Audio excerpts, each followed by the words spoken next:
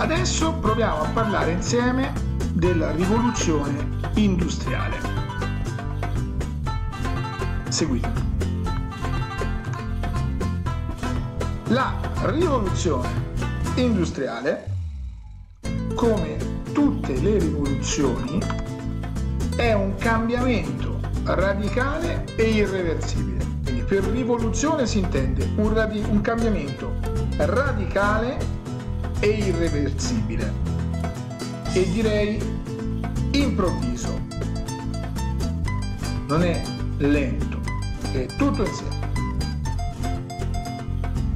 Questa è la rivoluzione. Industriale, cioè del sistema produttivo.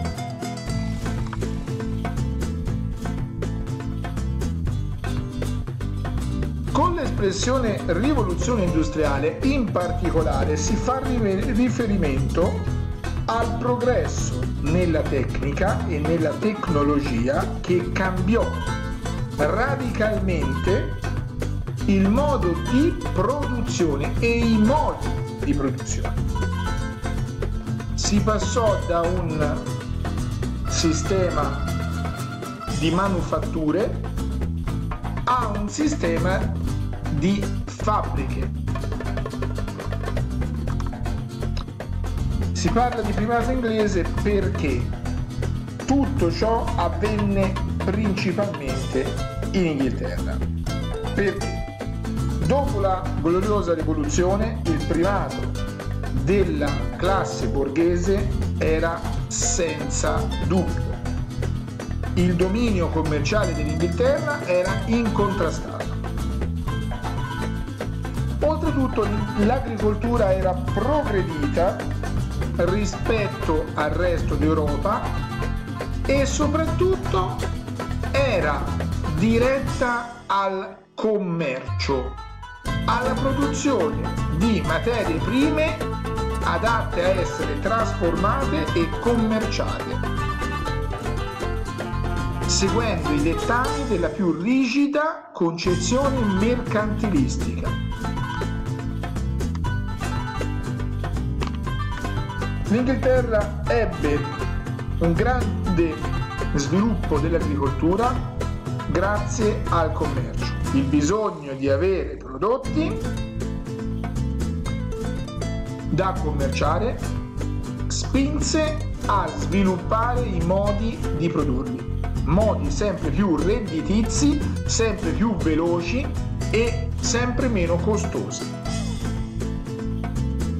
Quindi non era più interesse del proprietario affidare parte del proprio terreno ad altri, ma i terreni dovevano essere sfruttati intensivamente nel miglior modo possibile.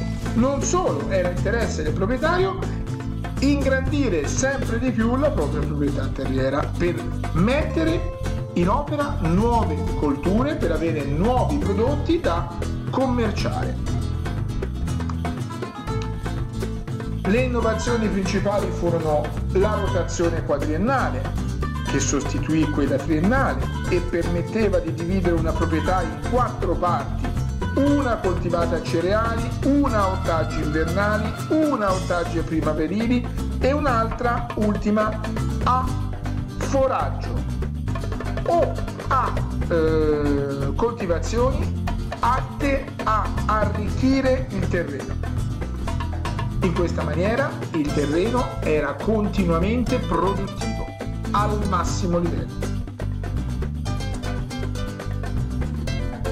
Questo portò per esempio a un miglioramento delle abitudini alimentari, a avere maggiore disponibilità di cibo e una grande crescita demografica. Non dimentichiamo però anche la, le nuove coltivazioni e il, la pratica delle enclosures, cioè la pratica di chiudere delle, dei, i terreni fino a quel momento considerati comuni, i terreni ai limiti delle grandi proprietà terriere erano considerati comuni, cioè venivano utilizzati dagli abitanti dei villaggi. I proprietari li chiusero facendo in modo che aumentassero per esempio le, i terreni disponibili per il foraggio, per il pascolo, in particolare in Inghilterra per le pecore, coltivazione della lana, eh, scusate, eh, produzione della lana eh, e commercio di panni di lana. Coltivazione della lana è una meraviglia, una chicca che vi regalo volentieri. La medicina migliorò, migliorò perché si iniziò a studiare le malattie, per esempio si risolse una, si debellò una malattia assai diffusa che era il vaiolo. Edward Jenner introdusse il vaccino contro il vaiolo e questo permise di sviluppare nelle, nelle persone gli anticorpi necessari a eh, non ammalarsi di questa pericolosissima malattia. Ricordatevi che buona metà della popolazione americana nel, nel 500 venne distrutta, il Sud America venne distrutta proprio dal vaiolo. Grazie a questo signore qui, Edward Jenner. Veniamo adesso invece proprio alle invenzioni. Nel 1709 si crea, viene sostituito il carbon fossile con il coke che è un tipo di carbone che raggiungeva delle temperature molto più alte. Nel 1733 viene inventata la spoletta volante che applicata al telaio permetteva di lavorare più velocemente e con diversi fili. Nel 1769 James Watt inventò la prima macchina a vapore, inventò il primo motore che permettesse di creare movimento senza essere dipendente dalle ehm, dalla forza muscolare o dalla forza animale. Nel, 1700, nel 1800, eh, 1789 Cartwright inventa il primo telaio meccanico, una macchina a vapore azionava molti telai e quindi la, il lavoro umano fu molto meno necessario ma aumentò la produzione a un costo molto inferiore. Nel 1803 venne costruita la prima carrozza stradale a vapore. Nel 1815 25 la prima locomotiva a vapore di Stephenson. Nel 1825 si formano le prime associazioni dei lavoratori salariati. Nel 1830 viene inaugurata la prima ferrovia. Nasce la fabbrica un nuovo luogo di lavoro completamente diverso da quelli che esistevano prima. Prima l'uomo provvedeva al proprio sostentamento con il lavoro sulla terra o con il lavoro nel sua, nella sua bottega o vendendo i prodotti della terra o vendendo i suoi eh, lavori artigianali. Adesso viene pagato per il lavoro che svolge e lo svolge in una fabbrica dove non c'è un mastro artigiano che insegna a lavorare, ma ci sono tanti operai generici, ognuno che svolge una singola mansione per cui non è necessario avere una grande conoscenza. La macchina risolve il problema. Quindi si assiste alla divisione del lavoro. gruppo di operai svolge una singola operazione, terminata la quale l'oggetto viene spostato a un'altra macchina, così che nessun operaio riesce a gestire l'intero processo di produzione e può essere sostituito in qualsiasi momento.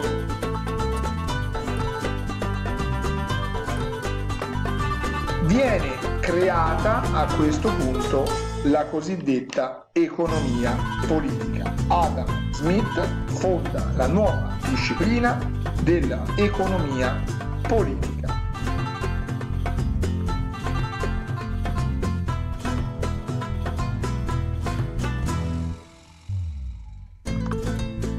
Le condizioni di lavoro sono tutto al di fuori che semplici e piacevoli. Le orari di lavoro sono eh, enormi, le condizioni di lavoro sono prive di ogni tipo di comodità e soprattutto di sicurezza. I lavoratori vengono sfruttati fino a ogni, al, al, oltre ogni limite e si crea una nuova forma di classe sociale, il proletariato urbano, cioè persone che vivono in città, non hanno proprietà terriere, l'unica, anche nemmeno un piccolo pezzo di terreno, l'unica cosa che possiedono è la loro prole da mandare al lavoro nelle fabbriche per guadagnare soldi. Il problema di vivere nelle città è che ogni cosa che ti serve lo devi pagare con quegli stessi soldi che tu guadagni. Non hai la possibilità di produrre da te alcune cose in campagna. Quindi, in questa maniera, il proletariato sottopagato è sempre più sfruttato, sempre più povero. Si iniziano in questi periodi le lotte per i diritti dei lavoratori si cerca di garantire dei diritti a questi operai che non ne avevano. Nascono le prime associazioni dei lavoratori. Nel 1825 il Parlamento inglese riconosce il diritto degli operai a creare proprie associazioni. Nel 1931 in Inghilterra si vieta l'assunzione dei bambini di meno 9 anni e il lavoro notturno per i minori di 18. Nel 1844 la giornata lavorativa viene ridotta a 12 ore per gli uomini e a 6,5 per donne e bambini. Nel 1847 la giornata lavorativa viene ridotta a 10 ore per gli uomini. Questo è il momento di grandi proteste operaie e di eh, rivolte anche esagerate come il luddismo dal nome di Lud che eh, distrusse un telaio perché lo considerava la causa della perdita del lavoro da parte e dello sfruttamento degli operai da parte dei proprietari. Si crea quindi una nuova piramide sociale. Alla base abbiamo coloro che we work for all, lavoriamo per tutti, poi ci sono quelli che we eat for you, noi mangiamo al posto tuo. Poi ci sono le parti che, la parte che we shoot at you, noi ti spariamo se ti rivolti. We fool you, noi dire, ti frodiamo. E poi we rule you, noi ti governiamo questa è la piramide del capitalismo che preme sul proletariato urbano. Si creano quindi questi nuovi nomi. Il capitalismo moderno è basato sul capitale, cioè una somma di denaro che serve per essere investita e avere nuovo capitale. Il capitalista non è il capitalista che possiede una fabbrica di spilli non è uno specialista nella produzione di spilli, è semplicemente una persona che ha dei soldi, li investe e gli interessa che li fruttino, non conosce il lavoro. Questo è il capitalismo moderno. Si crea poi il primo socialismo. Per socialismo si intende un nuovo mode- un modello economico in cui Le fabbriche non devono essere luoghi di sfruttamento, ma i luoghi posseduti dagli stessi lavoratori per produrre ricchezza. Cioè i, i lavoratori devono possedere gli strumenti di lavoro. Si crea poi il liberalismo economico che sostiene che la proprietà privata, la libertà degli imprenditori di investire come meglio credono il loro capitale, senza nessun tipo di obbligo né di limiti commercio libero. Spero di essere stato chiaro. Eventuali domande nei commenti. Il mio tempo è praticamente scaduto. Arrivederci.